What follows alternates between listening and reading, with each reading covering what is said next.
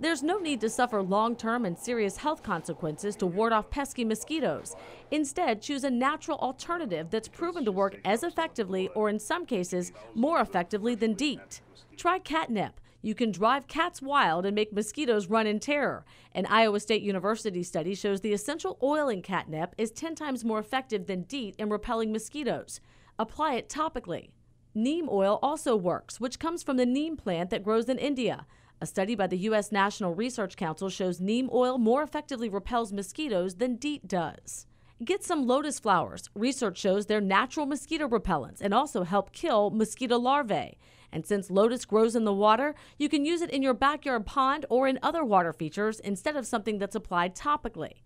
With some natural, healthy ways to keep you from getting bitten this season, I'm Vanessa Welch reporting.